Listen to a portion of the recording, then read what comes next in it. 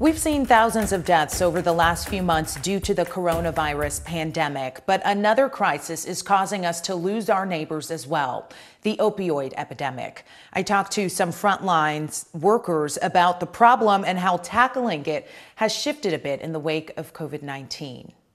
Increased isolation, anxiety, uncertainty those are all underlying, you know, psychiatric conditions that lead to substance abuse and substance misuse. Corbin Petro, CEO of Eleanor Health, says the coronavirus pandemic is putting a strain on many people, with some choosing to cope with illicit substances. We're seeing it in the general public. We're seeing it in um, enhanced need from our own community members. Chase Holloman with Guilford County Solutions to the Opioid Problem, or GC Stop, says the problem is growing. Guilford County EMS gave a record breaking 594 people the opioid overdose reversal drug naloxone in the last six months. It's very concerning. Uh, being an overdose survivor myself, it's very important to me that everyone else get the same opportunities to change their life that I did. On top of that, Holloman says GC Stop members have administered 220 naloxone doses in the last three months. More than likely, they did not call EMS, so there is definitely an undercount of overdoses as far as coming from first responders.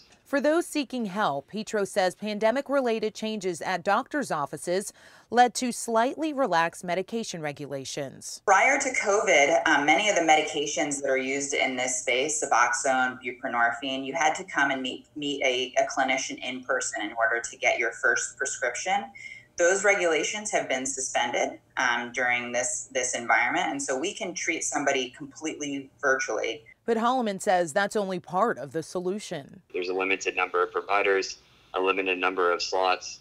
A lot of the programs have really intense barriers that people cannot surmount in order to get treatment from their programs. In order to treat the issue, Holloman says it needs to be approached differently with access to treatment at the forefront. There's complete discrimination and widespread medical negligence. We don't treat this health issue the same as any other health issue in the United States.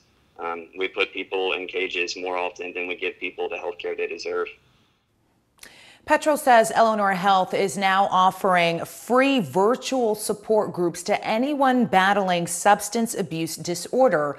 I'll link you to that information in this story on our website. I also want to add that you can still visit Eleanor Health's clinic in High Point in person if need be.